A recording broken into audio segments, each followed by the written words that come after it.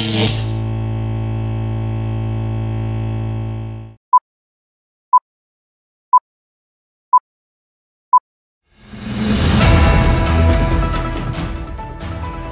for the headlines, weather forecast, Typhoon Julian or Krathon intensifies. Center located south-southeast of Basco, Batanes with maximum winds. Local news.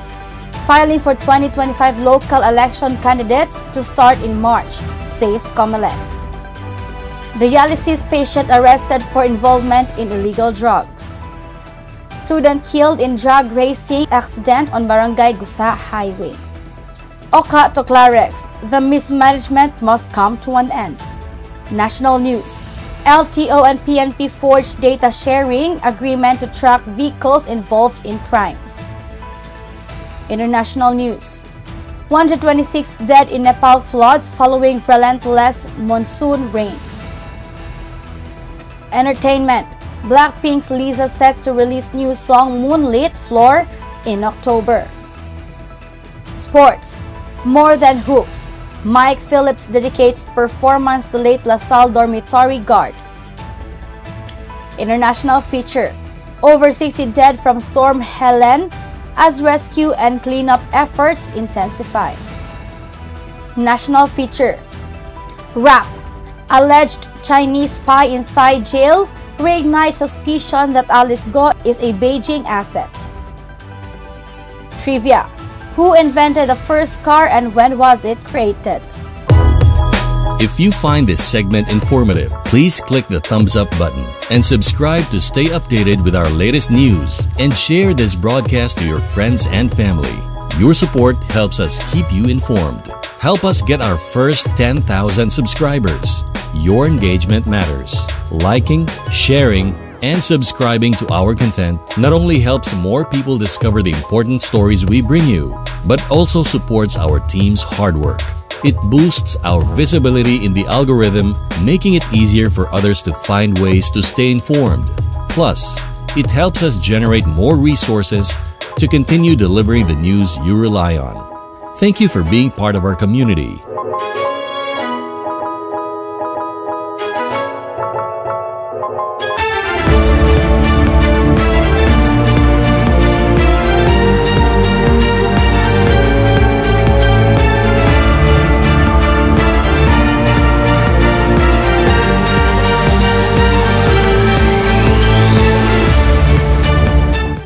Good morning Philippines, magandang umaga Luzon, ug mayong adlaw Visayas ug Mindanao.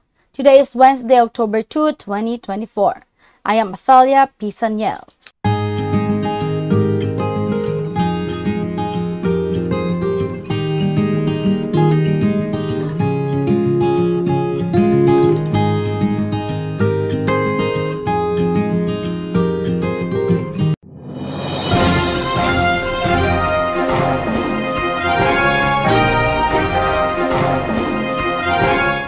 Local news. Filing for 2025 local election candidates to start in March, says Comelec.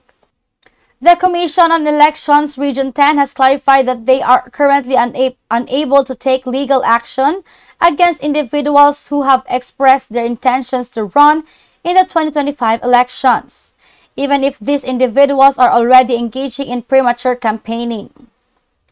The clarification comes in response to concerns about potential candidates who may be trying to gain early exposure and public favor ahead of the official campaign period.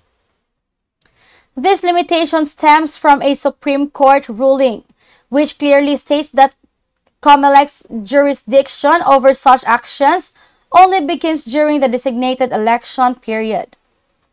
As such, any activities, even if they appear to be early campaigning, are not yet under COMELEC's control until the candidates have officially filed their certificates of candidacy and the election period formally begins. The ruling emphasizes that only during this period can the election body issue reprimands or take legal measures against candidates who violate campaign rules. COMELEC Region 10 Director Attorney Renato Magbutay further explained that the process of filing certificates of candidacy does not guarantee that an individual will qualify to run for office. There is still a rigorous screening process that ensures all candidates meet the necessary qualifications to be eligible for the elections. This is to prevent disqualified or unqualified individuals from moving forward in the race. Magbutay also highlighted that while some candidates may be eager to start campaigning early, they should be mindful of the rules and regulations that will apply once the official election period starts. Dialysis patient arrested for involvement in illegal drugs. A 41-year-old father, a resident of Purok 7, Dagumbaan, Maramag, Bukidnon, is now facing serious legal troubles after being arrested in connection with illegal drug activities. This suspect is known as Felmar, who is also a dialysis patient, was apprehended during an anti-drug buy-bust operation conducted by the Maramag Police Station under Police Region, Regional Office 10. Authorities had been monitoring the suspect for some time due to intelligence reports like linking him to drug sales. During the operation, undercover officers posed a buyers and successfully completed a transaction with the suspect, leading to his arrest. The police confiscated 45 grams of suspected shabu valued at 306,000 pesos, along with several thousand pesos in marked buy-bust money. PRO 10 spokesperson Major Joan Navarro stated that the suspect admitted to selling drugs to cover his dialysis treatment costs, which had placed him under financial strain. However, Navarro stressed that while his medical situation is unfortunate, it does not excuse his involvement in illegal activities. The suspect now faces charges under the Comprehensive Dangerous Drugs Act 2002 with penalties ranging from long-term imprisonment to life sentences, depending on the severity of the offense.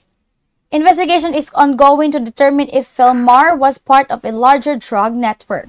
Student killed in drug racing accident on Barangay Gusa Highway. A motorcycle rider has died after colliding with a taxi on CM Recto Gusa National Highway in the city. The victim has been identified as Dennis Kenneth Sabilina, a 21-year-old college student known for his passion for motorsports. According to the taxi driver, he was startled when the rear part of his vehicle suddenly exploded, which may have resulted from the impact of the collision. Preliminary investigations reveal that the motorcycle rider was allegedly participating in drag racing at the time of the incident. Eyewitnesses reported seeing the motorcycle speeding and weaving through traffic before the collision occurred, suggesting that the rider was attempting to evade the taxi. Authorities are conducting further investigations to gather more details about the circumstances leading up to the incident. The local police have urged anyone with information about the drug racing activities in the area to come forward to help with the investigation. This tragic event raises concerns about the safety of road users and the dangers of illegal street racing, prompting calls for stricter enforcement of traffic laws in the area. Oca to Klarex, the mismanagement must come to an end. The ongoing mismanagement of city government affairs under incumbent city mayor Rolando Klarex Uy must be addressed according to former city mayor Oscar Oca Moreno. This statement follows Uy's criticism of Moreno during the launch of the One Cagayan, kauban ng Katauhan collision yesterday. Moreno expressed regret that he did not recognize Klarex's true character sooner, which he believes could have helped prevent further damage to the city's governance. The two had been political allies for 12 years, collaborating on various projects. However, their relationship soared unexpectedly in 2022, leading to political tensions. In response to Uy's accusations that Moreno left unresolved issues during his tenure, Moreno countered that many of these claims were exaggerated or mispresented. Political analysts anticipate a potential showdown between Moreno and Uy in the upcoming mayoral race if both submit their certificates of candidacy to the COMELEC this week. As the political rivalry intensifies, voters in Cagayan de Oro will have consider the leadership styles and accomplishments of both candidates in the 2025 elections.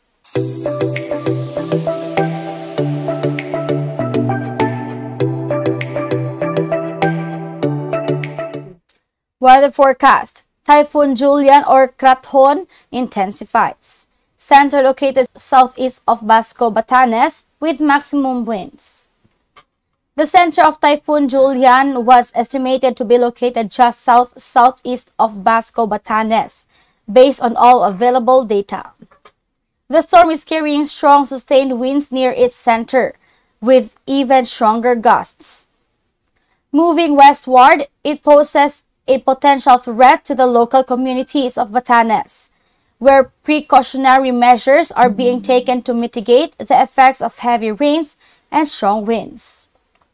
Authorities have issued weather advisories and warnings, urging residents to secure their homes and prepare for possible evacuations in vulnerable areas. Coastal communities are particularly at risk of storm surges, which could lead to flooding and erosion. Fisher folk are advised to refrain from venturing out to sea until conditions improve. Emergency services are on high alert, ready to respond to any incidents, while schools and public facilities are being utilized as evacuation centers if needed. Meteorologists continue to monitor the storm's trajectory closely, providing regular updates to ensure the safety of all residents in the affected regions. In addition, the local government has coordinated with national agencies to ensure that relief supplies are pre-positioned should the storm result in significant damage. The community is being reminded to stay informed through official channels and to avoid spreading unverified information during the critical time.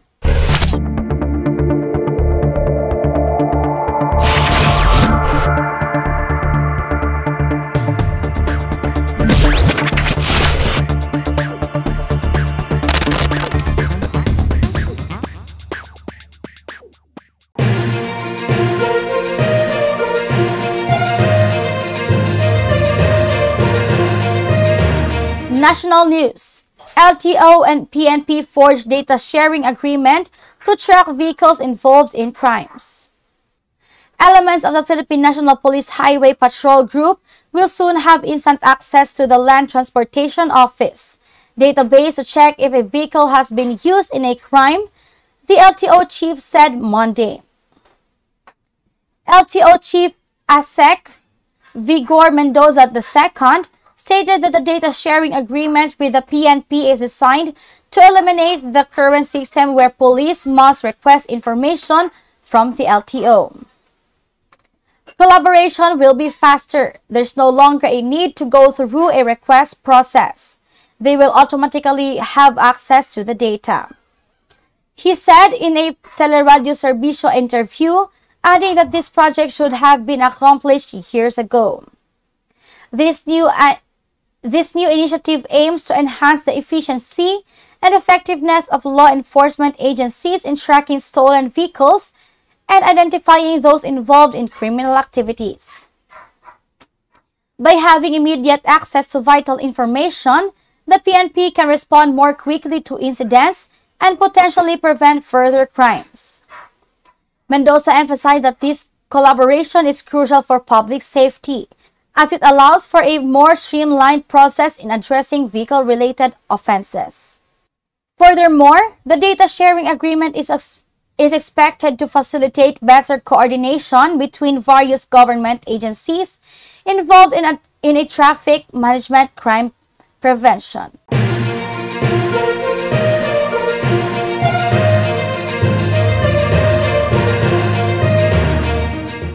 International news.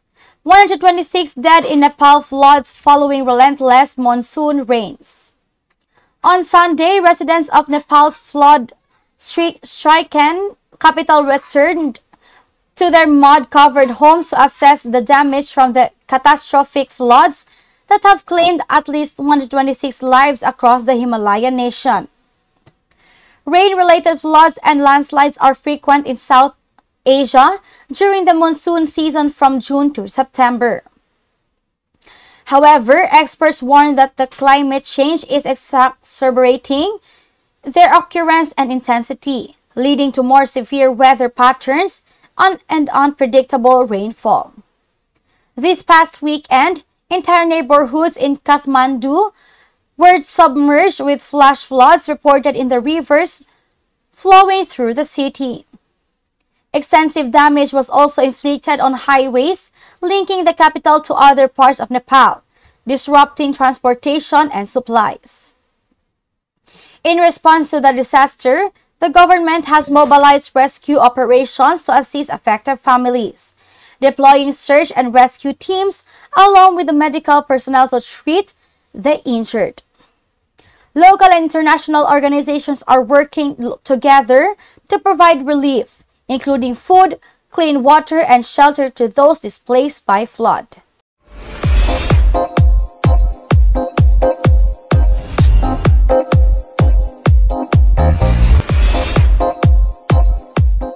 Entertainment Blackpink's Lisa set to release new song Moonlit Floor in October. Thai superstar Lisa continues her hot streak as her agency announced on Sunday that the Blackpink member will unveil a new song in early October, marking her latest release in a series of successful projects this year. On X, LLOUD confirmed that the 27-year-old artist will drop the song Moonlit Floor at 8 p.m. Eastern Time on October 3. This new track follows her previous hits and collaborations, which have garnered immense popularity and critical acclaim. Lisa's recent projects have highlighted her versatility as an artist, showcasing her skills not only as performer but also as a songwriter and dancer. Fans are eagerly anticipating Moonlit Floor, which is expected to showcase her unique style and sound. The announcement has sparked excitement among her fan base known as Blinks, who have been actively supporting her solo endeavors. As Lisa prepares to release new, new music, there is speculation about potential upcoming performances and music videos that may accompany the release.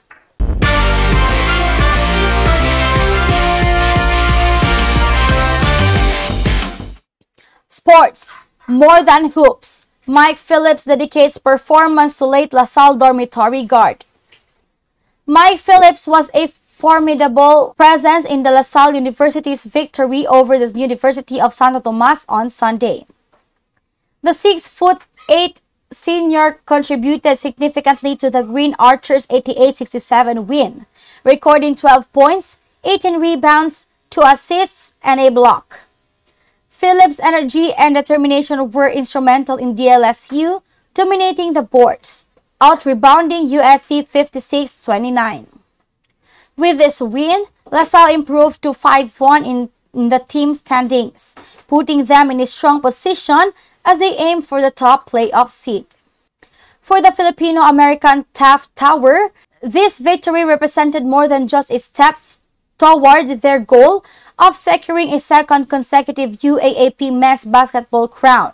It also showcased the team's resilience and unity. Phillips emphasized the importance of teamwork and achieving their objectives, highlighting how each player's contributions were vital to their success. Coach Derrick Pumaren praised his team's defensive efforts, noting that their ability to force turnovers and create fast break opportunities was key to their victory. As the season progresses, the Green Archers are focused on maintaining their momentum and striving for excellence in their upcoming games. They are gearing up for a crucial match-up against their arch rivals, the Ateneo Blue Eagles, which is expected to be a pivotal point in their campaign.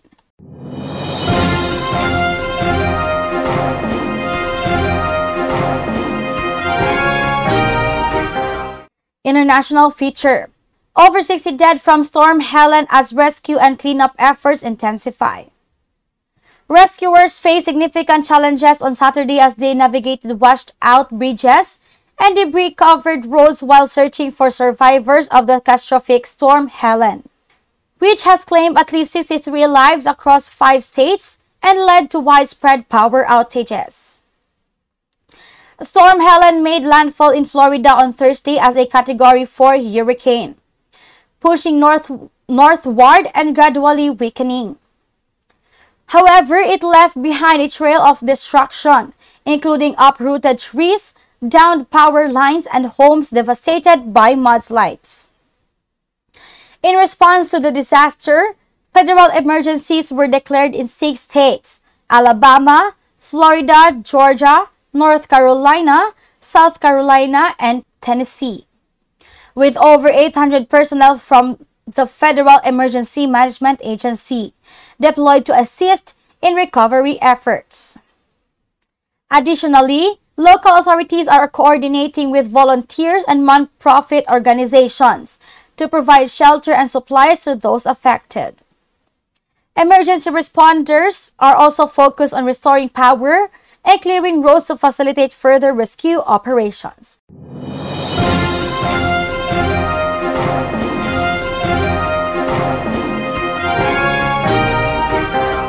National feature. Rap. Alleged Chinese spy in Thai jail. Reignites suspicion that Alice Guo is a Beijing asset. An Al Jazeera documentary has sparked inquiries within the House of Representatives and reignited speculation that Alice Guo, the former mayor of Bamban Tarlac, who has been dismissed and faces numerous charges related to Philippine offshore gaming operators, may not only be a Chinese national but also a potential spy for Chinese Ministry of State Security. The East 101 documentary focusing on the imprisoned tycoon She Zhijiang, who is currently facing deportation to China and claims to have been a former spy for the MSS, was presented at the House Quad Committee hearing on Friday. This screening prompted lawmakers to formulate new questions, leading to a visibly agitated response from Guo. Guo's situation has drawn significant attention, raising concerns about national security and foreign influence in local governance. Lawmakers are now calling for a thorough investigation into her connections and the allegations of espionage, emphasizing the need for greater scrutiny for foreign nationals involved in Philippine politics.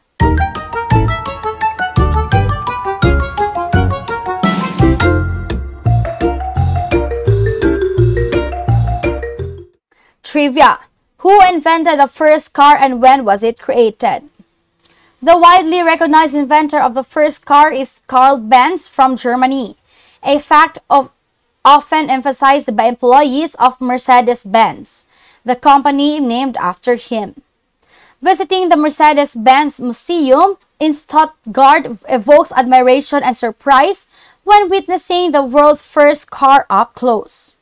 While the term horseless carriage was commonly used at the time, Benz vehicle patented in 1886 is credited as the first car ever made, despite earlier road vehicles existing. What sets Karl Benz apart is that his invention, the Benz patent motor wagon, is considered the first automobile designed to be powered by an internal combustion engine. Unlike other vehicles that were adaptations of carriages with steam engines, Benz's car was built from the ground up with a gasoline engine, making it practical and self-propelled.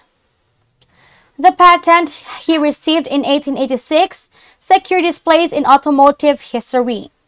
His wife, Bertha Benz, sol solidified its legacy by taking the car on 66-mile journey from Mannheim to Pforzheim in 1888, demonstrating its reliability and drawing significant public attention. Benz vehicle laid the foundation for the modern automobile industry and although other inventors contributed to automotive development. His innovations in engineering and design established him as a pioneer of the first true automobile, marking the birth of an industry that transformed transportation. And that was the information we got from here and abroad. Keep listening and watching. Thank you very much for tuning in. If you find this segment informative, please click the thumbs up button and subscribe to stay updated with our latest news and share this broadcast to your friends and family. Your support helps us keep you informed. Help us get our first 10,000 subscribers. Your engagement matters. Liking, sharing, and subscribing to our content not only helps more people discover the important stories we bring you, but also supports our team's hard work. It boosts our visibility in the algorithm, making it easier for others to find ways to stay informed. Plus, it helps us generate more resources to continue delivering the news you rely on. Thank you for being part of our community